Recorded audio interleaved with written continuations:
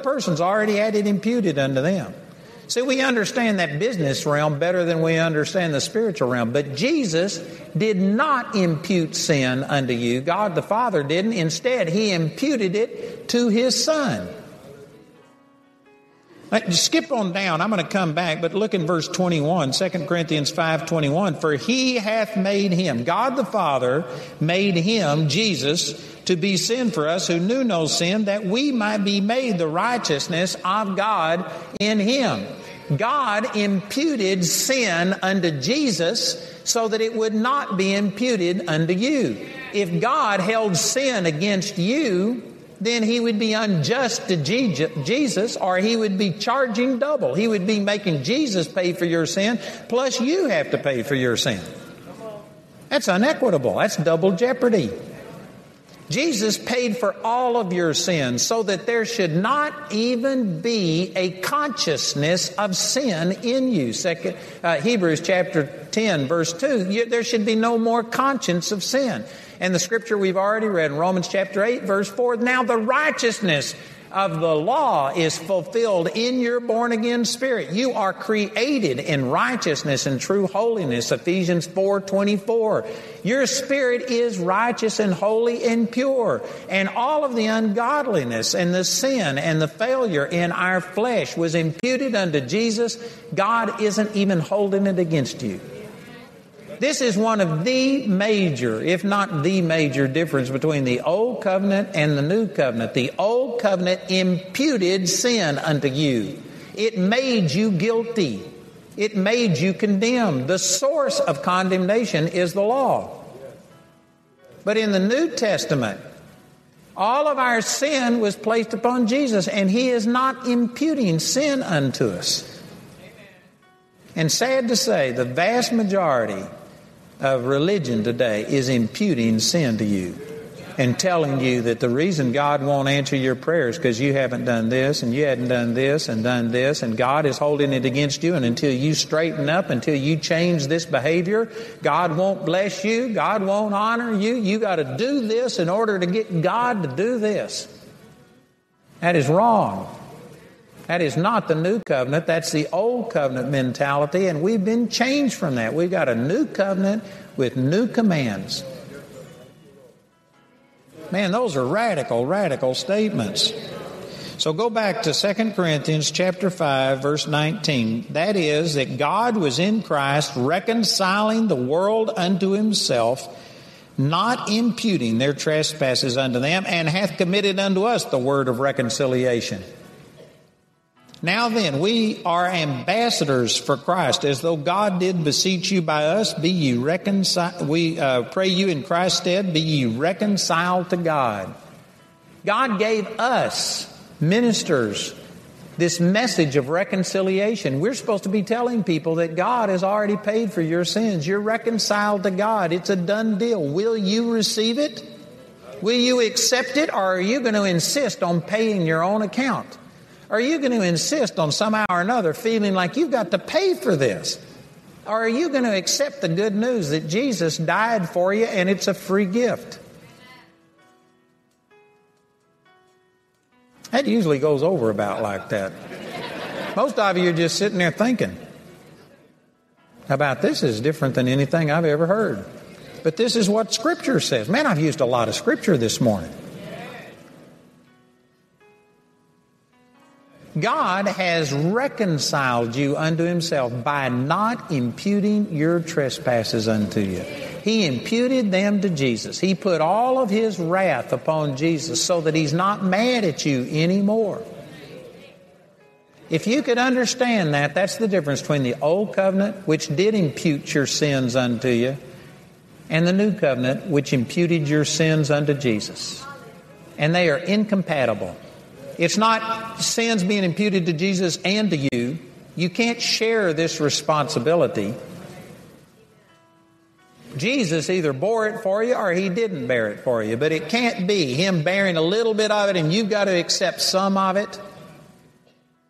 This is what Jesus was referring to when he says you can't take a new garment and, I mean, an old garment and put a new patch on it because when you wash, wash it, it will shrink and it'll tear. You can't put new wine into an old wineskin because when it ferments, it'll break the bottles. What he was talking about wasn't how to protect your wine and how to mend your garments. He was talking about you can't take the New Testament realities and fit them into the Old Testament law. They're incompatible. They don't fit. There's a new way of relating to God under the new covenant with a new commandment, and we have to get to where we base everything on what Jesus did for us and who we are in the Spirit and not relate to God in our flesh. And yet it's amazing how most of us, it's just like there's a default switch that we immediately go back to how we've acted and think God is going to move in our life proportional to our holiness. That is not true. Look over in Hebrews chapter 12. Here's a passage of Scripture that is often used to say that you've got to be holy to have God move in your life. And it's not talking about a spirit holiness, a holiness that was received by salvation through faith in Jesus, but rather talking about your own holiness. In Hebrews chapter 12, It's talking about chastisement from the Lord, which I believe that there is chastisement, but it's not sickness, it's not disease, it's not poverty, it's not God killing your child, making your child be born with Down syndrome. That's not chastisement. The Bible says that the Word of God is quick and powerful, and it's the thing that divides. And it says over in 1 Timothy chapter 3, verse 16, I believe, that the Word is all scripture is profitable for doctrine, for reproof, for correction, for instruction in righteousness, that the man of God may be perfect, thoroughly furnished. The Word of God is how He chastens us. It was with the Word. There's a right and a wrong way to chasten your children. You don't hit them with a board. You don't put cancer on them to teach you some, teach them something. There's a right way to correct your children. God gave you extra padding on your bottom for a reason. And so in the natural, we understand this. You don't hit your kids with something. You don't shoot them. You don't stab them to teach them something. There's a right and a wrong way to correct. Likewise, God doesn't hit you with sickness and disease and cause tragedy in your life. He uses His Word to correct you, and the Word will make you perfect, thoroughly furnished unto all good works. You don't have to have plan B or plan C. The Word of God is enough to make you perfect. Somebody said, but they aren't studying the Word. They don't listen to the Word. Well, then you can learn by hard knocks. You can go out there and let life beat you up, and you can learn. But I tell you, there's a better way. Better way is to go to the Word of God, and the Word of God will make you perfect, thoroughly furnished unto all good works. And so here in Hebrews chapter 12, it says in verse 11, Now no chastening for the present seemeth to be joyous, but grievous. Nevertheless, afterward it yieldeth the peaceable fruit of righteousness unto them which are exercised thereby. Wherefore lift up the, the hands which hang down and the uh, feeble knees, and make straight paths for your feet, lest that which is lame be turned out of the way but rather let it rather be healed. This isn't actually talking about walking in a straight line. This is talking about symbolically uh, metaphorically, it's talking about that you're supposed to live a godly life so that people who are watching you and are trying to find out about God and see God, many of them can't see God because He's invisible. You're the only expression of God they're ever going to see. So you need to walk a holy life, is what he's talking about, so that other people, rather than the lame being turned out of the way, they can be healed by seeing your example. That's what he's talking about. And then in verse uh, 14, he says, Follow peace with all men and holiness without which no man shall see the Lord. And people take this verse totally out of its context and they say that you've got to be holy or you'll never see the Lord. God will never, you'll never approach unto God. You'll never have God do anything in your life unless you're holy. Take it in its context. It's talking about chastisement and it says live a godly life so that people who are watching you can follow the Lord, can be brought to the Lord. And then in the midst of this, he says, uh, follow peace with all men and holiness without which no man shall see the Lord. This isn't talking about you seeing the Lord because you've been holy and you therefore deserve seeing the Lord. This is talking about if you don't live holy, how is anybody ever going to see the Lord in your life? This isn't talking about that you've got to be holy before you can see the Lord. It's talking about you got to live holy or other people won't be able to see God in you. They won't ever learn anything from you. And the next verse again puts this back in its context. It says, looking diligently lest any man fall of the grace of God, lest any root of bitterness, etc. And it's talking about just live holy. Walk right so that the lame, instead of being turned aside, it'll be healed because they'll see the power of God in you. Live holy. Otherwise, how is anybody going to see the Lord in your life? I tell you, we have had Scripture just so twisted to fit a paradigm that we already have that God is this angry God that every time you mess up, God's not going to answer your prayer. And that's the way it was in the Old Testament. I intended to get into some different things this morning, but you know, praise God, I'll get into them tonight. I'm not through, I'll just cover it later. But I'm going to explain to you about why the Old Testament law was given and why God did it this way but the Old Testament law made people sin conscious. It imputed sin unto you. It made you so condemned and so guilty. And that was never God's perfect will. That's the reason He waited for 2,000 years after man sinned before He gave the law, because it wasn't a perfect system. As we read last night in Hebrews chapter 8, He found fault with the law. It never was God's best, but mankind had become so corrupted and so vile and so condemned that if God didn't do something to restrain the amount of sin, there wouldn't have been a virgin left on the earth for Jesus to have been born through. Sin was becoming so pervasive that the entire plan of God for redeeming mankind by grace was at risk. And God had to do something to literally scare the devil out of us to make man turn from sin because sin was destroying the human race. So God gave the law not to help you. It helped in the sense that it took away your deception and showed you how guilty you were, but it made you condemned. It made you guilty. It made you run from God instead of to God.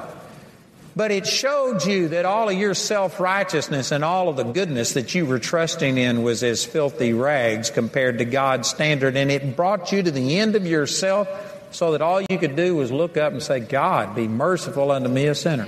That's the purpose of the law. And if you use it for that purpose to show people their need for God and bring them to a place of salvation, then the law is good. But when it's bad is when after a person comes to the Lord and receives Jesus, and now they've got a new covenant and new promises, you put them back under the old covenant with the Ten Commandments that is still showing them how ungodly and how sinful they were. God never intended that. It was not intended for that. And sad to say, the church has been the number one promoter of the Old Testament law and legalism and God's wrath and judgment and punishment and rejection if you don't do everything right. And it shouldn't be. They're preaching the wrong message. They're preaching from the wrong side of the cross.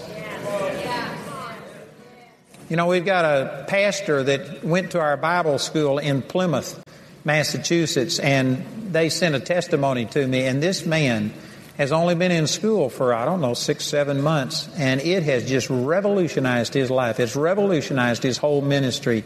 And here's the way he phrased it He says, I found out I was preaching from the wrong side of the cross. I was preaching the Old Testament law instead of the New Testament grace. And man, I think that's just a tremendous way of saying it. And this is basically what's happening to most of our churches is that they are preaching the wrath and the judgment and the conditional acceptance of God and conditional promises. You do this, this, and this, and then I'll do this. But in the new covenant, Jesus meant all of the conditions. Jesus has already done everything. And the only way you can ever be reconciled unto God, be friendly, and really enter into the relationship is get out of this old covenant mentality and into the new covenant where you base everything on Jesus. God loves me because I'm in Jesus. God loves me because He is love, not because I am lovely. When you pray and say in the name of Jesus, you're saying, Father, because of what Jesus has done, completely separate from what I've done completely separate from my own worthiness, my own goodness. I'm not basing this on the fact that I've been going to church or praying or doing anything. Just because of Jesus. In Jesus' name, I am healed. In Jesus' name, I am blessed. That's what praying in the name of Jesus is. It's basing your request upon what Jesus did for you. And yet the average person will say, in the name of Jesus, and then recite, God, I've been doing this, this, and this. Now will you move in my life? That's taking the name of Jesus in vain. That's terrible. And yet this is what religion has taught us to do. And we have become sin conscious because we're under an old covenant. And that is not what God intended. Like I said, I really wanted to go somewhere else this morning, but I just said all these things in getting there. Amen. so uh, I'll really continue with this tonight and share what I was wanting to do. But man, there is so much in the Word about this. It's hard to put it concisely. And yet it's amazing. Religion has just missed this. I'd say that one of the most common comments that we get is people say, I've been a Christian for 20, 30, 40 years, whatever, and I've never heard this. This is contrary to everything I've ever been taught. Very few people are taught the new covenant. Romans 1:16 says, it, "I'm not ashamed of the gospel for it. The gospel is the power of God unto salvation to the Jew first and also to the Greek." The gospel is the power of God. And the word gospel here has become a religious cliche, but it is talking about what we're talking about here the new covenant. The fact that it's by grace and not by performance. That's what gives you power in your Christian life. If you know that God can heal, but you have no power to receive that healing, it's because you're lacking in the gospel. You're living under an old covenant instead of a new covenant. You're letting Satan condemn you because of some failure in yourself instead of standing strong in what Jesus has done and getting it by grace through faith.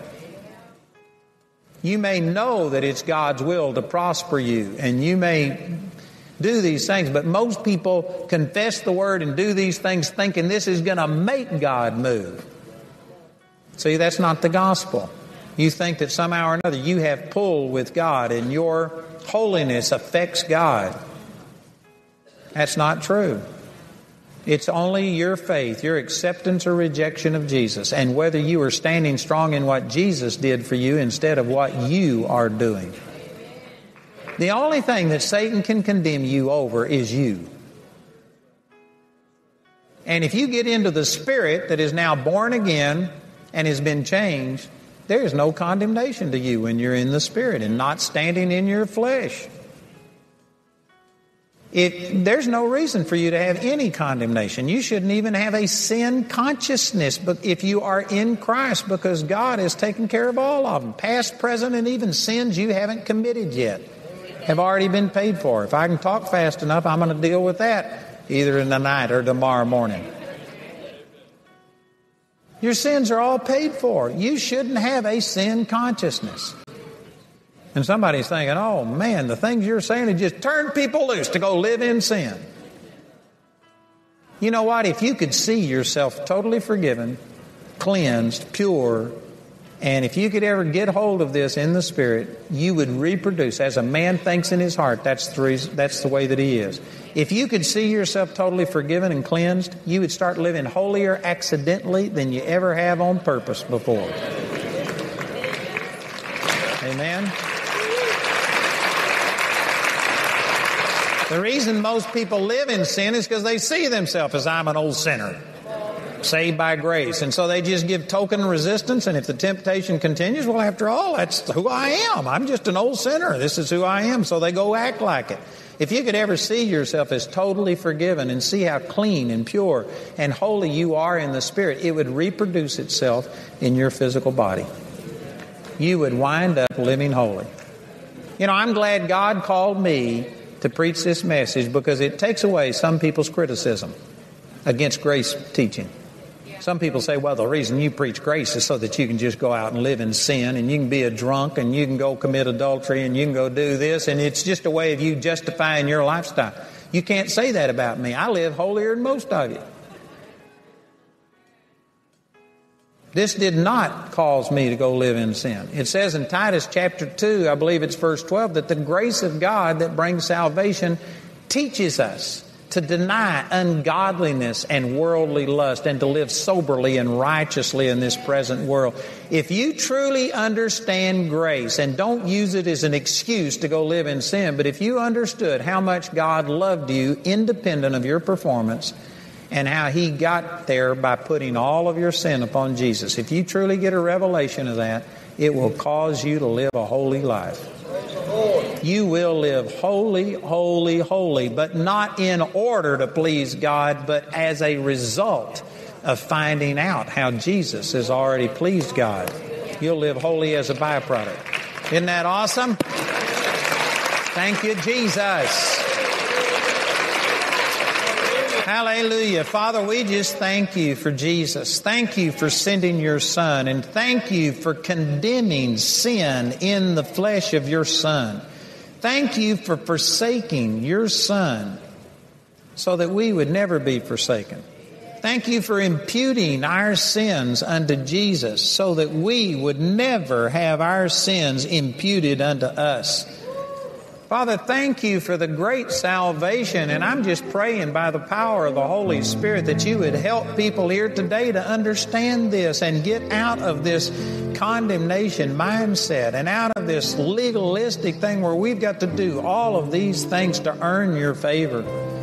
Father, I pray that the Holy Spirit would take these words and set people free from this, that we would begin to experience the new covenant the power that's in the gospel. Thank you, Jesus. Holy Spirit, we welcome you to come and touch our hearts, to change our thinking, to take the traditions and the doctrines of men that make the word of no effect and get those things out of us. Thank you, Father. We desire revelation from the Holy Spirit. Thank you, Father. There's a scripture in Luke chapter 24, verse 45, where Jesus was speaking to his disciples on the road to Emmaus and they just couldn't understand. And it says, Then opened he their understanding that they might understand the scriptures. And I'm praying that today. I believe that's quickened to me by the Holy Spirit, and I believe that the Holy Spirit is touching people's understanding so that you can understand this new covenant, that you can see the hope of our calling understand the greatness of this fact that Christ is in us, the hope of glory. Father, we pray for this revelation to come, and I thank you that you are performing miracles in people's lives and that this word is going to burn on the inside of us until it burns up all of that traditions and doctrines of men. Thank you, Jesus. Hallelujah. Father, we agree, we receive it. We welcome it and we receive this ministry of your Holy Spirit in this place today. Thank you, Father. Hallelujah. Thank you, Jesus. Hallelujah. Praise God. Thank you, Father. You know, there may be some of you here today that maybe you've understood for the first time what really being a Christian is. It's not trying to change your life and be holy and all of these things. That comes as a byproduct once you already obtain relationship with God. But a true Christian is one that just puts their faith in what Jesus did for them. And we've got millions and millions of people who call themselves Christians who their faith isn't in God. They're just trying to live by the Christian standard, the Christian rules of appeasing God. But in a sense, they're no different than a Muslim, a Buddhist, a Hindu. They just have a Christian set of values that they are trying to do something to make themselves worthy in the sight of God. The thing that truly separates from Christianity from every other religion of the world is not our standard of holiness. Did you know that Muslims have a standard of holiness that if you steal, they cut your hand off?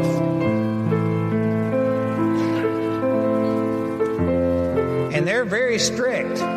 It's not our standard of holiness that makes Christians different. The only thing that's different, the number one thing that's different about Christianity is we have a Savior. No other religion on the face of the earth has this concept of a Savior. In every other religion of the world, you have to be your own Savior. You have to earn God's favor by you performing and doing this and wearing a robe and shaving your head and begging or doing whatever it is. But in true Christianity, we have a Savior who came and took our sins. They were imputed unto him, and he suffered. And so all you've got to do is accept him and put your faith in Him, and then you get in based on what He did for you, not based on your performance. Well, that's powerful. And sad to say, most Christians don't have that concept. They're just trying, they still have the same mindset as a Hindu, a Buddhist, anybody trying to be good enough, thinking that their good has to outweigh their bad. And maybe some of you in here have been confused by that, and today you've heard the gospel for the first time that regardless of what you've done or haven't done, Jesus paid for all of your sins, and you could just receive salvation as a gift. You receive it by making Jesus your own personal Lord. And if you will do that and do more than just say the words, you have to mean it that I'm making my, you my Lord. I turn my life over to you. You can't do it perfectly, but you have to be willing to give Him that kind of control of your life and you trust Him to that degree. When you do that, then you become a new person on the inside, and holiness becomes a fruit and not a root of salvation. It's a byproduct of having a relationship with God, not the way to having a relationship with God. If you've never done that today, you need to accept Jesus as your Lord. And then every person who's born again also needs the baptism of the Holy Spirit. Jesus told his disciples, Don't go tell anybody this tremendous news about Jesus being raised from the dead and the gospel. Don't tell anybody until you receive power from on high when you receive the Holy Spirit. And when they received the Holy Spirit in Acts chapter 2, verse 4, it says, They spoke with tongues as the Spirit gave them the utterance. When you receive the Holy Spirit, you get these gifts, not only speaking in tongues, but that's one of the visible ones, one of the very first ones. And you get this ability to speak in a language that you didn't learn with your mind. It comes out of your spirit. And you bypass all of the doubt and the unbelief that's in your mind, and you talk straight from this born again spirit and are able to communicate with God. It is powerful. If you don't have the baptism of the Holy Spirit, which includes speaking in tongues, you need to receive that. And there may be people here, I said this last night, but there's people that, you know, came to this meeting not realizing I'm one of those that speak in tongues because I don't, you know, act like the typical Pentecostal and scream and shout and, shout and say glory to God. And so, because of it, some of you didn't realize I was baptized in the Holy Spirit, but I am. And I tell you, you need this gift of speaking in tongues. And there's many of you that like think you, you like some of the things that I testify about how God raised my son from the dead after being dead for five hours. He was raised from the dead with no brain damage, no more than before. Amen. And you hear testimonies about miracles that are happening and good things that are happening, and you like the fruit, but you're going to reject the root and say, I don't want this baptism of the Holy Spirit speaking in tongues. I'm telling you that the baptism of the Holy Spirit actually transformed my life. And any good thing that has happened in my life is a result of receiving the baptism of the Holy Spirit and the gifts of the Holy Spirit, which includes speaking in tongues. So I don't care what you've been taught about it, I'm telling you it's real. And it works. And it's something that you need. If you don't speak in tongues, you need to receive speaking in tongues. You need to receive this power from the Holy Spirit. Is there anybody here today who would say, I need one or both of those? Either I need to receive Jesus as my Lord and or I need to receive this baptism of the Holy Spirit and speak in tongues. If that's you, I want you to raise your hand so I can pray with you. Here's some right here in the middle. Others? Raise your hand if that's you. Praise God, we got hands all over the place. We had, I don't even know how many last night, but I'm, how many? 120 people came forward last night to receive the baptism of the Holy Spirit. Hallelujah. You know what? That's the same number that received the baptism of the Holy Spirit in the upper room. And look what they did. Could see another Pentecost happen right here. If you raised your hand, or if you were supposed to raise your hand but didn't do it, would you just get up out of your seat come forward? And we want to pray with you and help you to receive. Right here. Come forward and let us pray with you and help you to receive. Praise the Lord. Thank you, Jesus.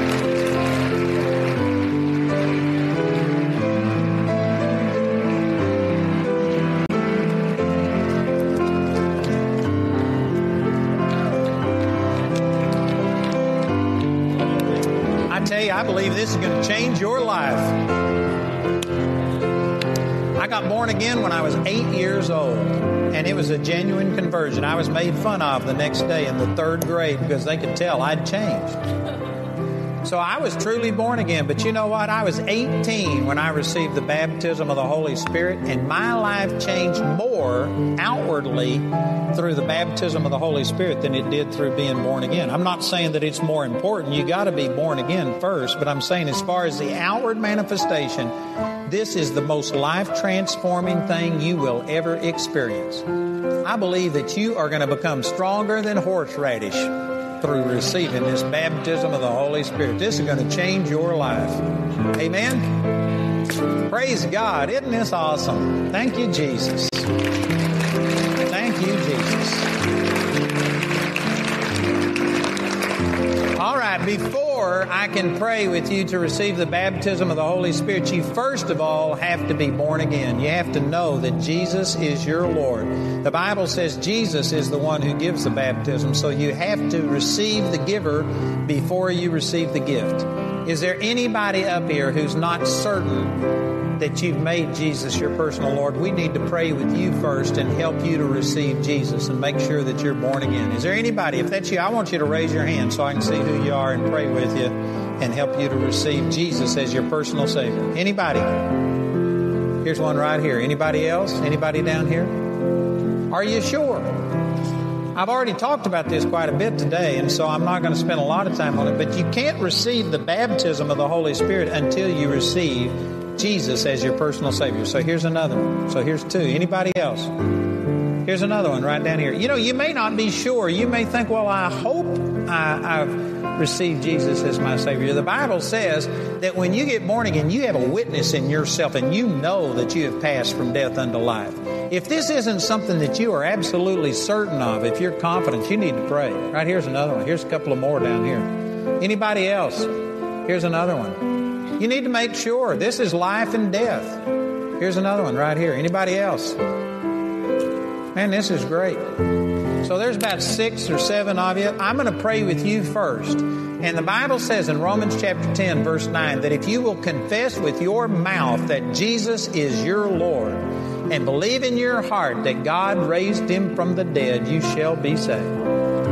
It's that simple. He's already paid for everything. He's already died for your sins. It's just a matter of will you make him your Lord? And you have to do more than just mouth the words.